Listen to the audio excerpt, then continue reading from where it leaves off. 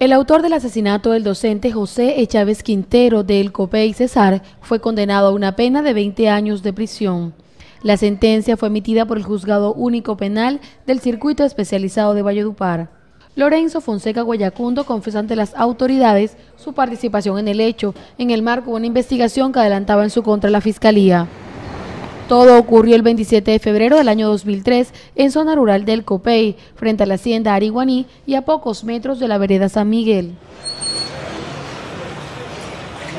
El docente José Chávez Quintero se trasladaba desde el corregimiento de Chimila, jurisdicción del Copey, hacia la ciudad de Valledupar, junto con unos colegas, estudiantes y padres de familia, a bordo de un bus de servicio público.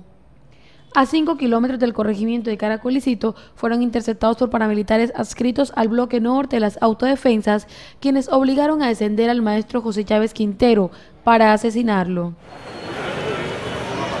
En el año 2009 la Fiscalía procedió a dictar resolución de apertura de instrucción por causa de la muerte de José Chávez Quintero y en 2016 recepcionó la diligencia indagatoria de Lorenzo Fonseca Guayacundo, quien se acogió a sentencia anticipada. Lorenzo Fonseca Guayacundo, de 49 años, es oriundo del Copey y tiene cinco hijos.